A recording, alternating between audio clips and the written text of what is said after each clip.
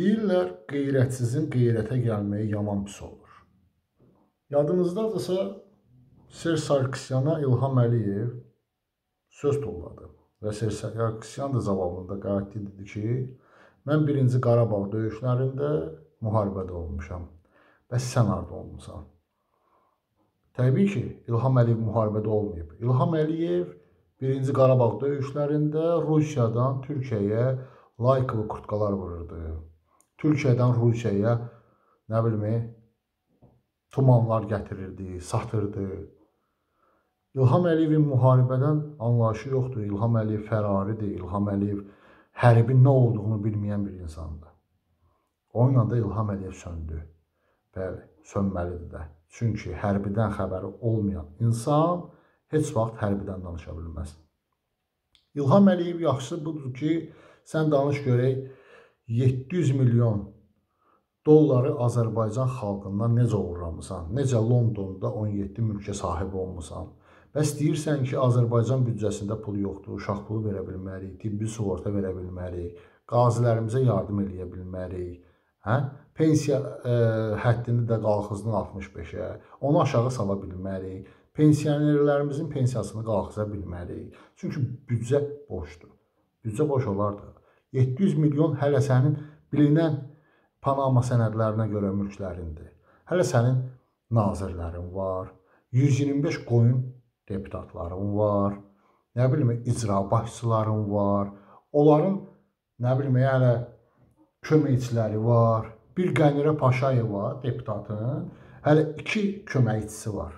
Mənim başım çıxmır. Qəndirənin avtofasını daşıyırsınız. Necə iki köməkçi ola bilər? Deputatı Bu xalq seçməyib, İlham Əliyev seçib. Bunun nəyə görə 2 dənə köməkçisi olmalıdır? Hə? Qənirək Paşayeva ya da 125 deputat nəyə görə 4000, 5000, 6000, 7000, 8000-ə kimi maaş almalıdırlar? Amma Azərbaycan xalqı bu gün 250 manata, 300 manata ailə dolandırmalıdır. Siz şərəfsiz bir rejimsiniz. İlham Əliyev. Sən yaxşısı budur ki, xalqdan oğurladıqlarını xalqa qaytarasan ki, sabah bu hakimiyyət dəyişəndə işin biraz yüngül olsun və bu günləri o həbsxanaya ki, insanları şərləyib atmısan, hamısını qızıl amnistiya verib buraxasan ki, işin yüngülləşsin. Çünki orada nə qədər Azərbaycanlı günahsız yerə həbs yatır, cəza çəkir və işgəncələr altında siyasi məhbuslarımız var. Nəyə görə? Azad söz deyiblər. Azad söz deyəni isə Azərbaycanda nə edirlər? Şərləyirlər, həbsə atırlar.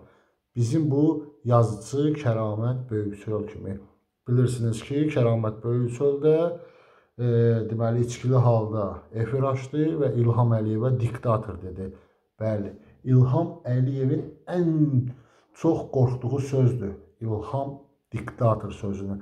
Hətta Fransada jurnalisti diktator dediyinə görə məhkəməyə vermişdi. Ondan təzminat istəyirdi. Sadəcə 1 dollar. Utanıb ölmürsən İlham Əliyev. Sənin kimi bir qeyrətlər, bir şərəflər, ünsürlər bu günləri yap rejimi hakimiyyəti güya idarə edirsiniz. Siz hakimiyyəti idarə etmirsiniz. Siz Rusiyanın əmrlərini icra edirsiniz. Siz gedəcəksiniz. Mütləq gedəcəksiniz.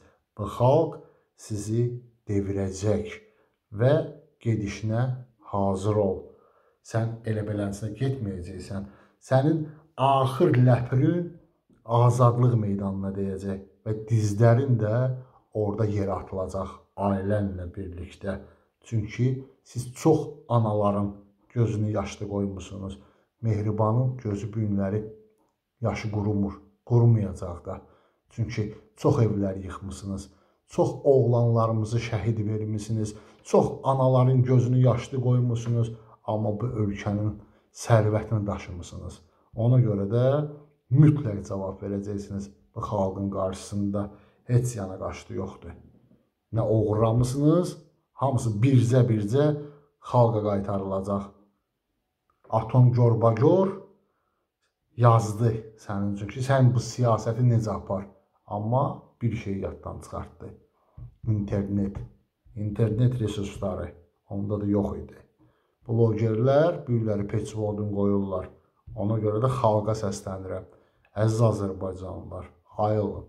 Ayılın ki, axırınız, sonunuz bir də təkrar, təkrar edirəm, Xəzər dənizinə getməsin. Xəzər dənizinə tökməsinlər sizi.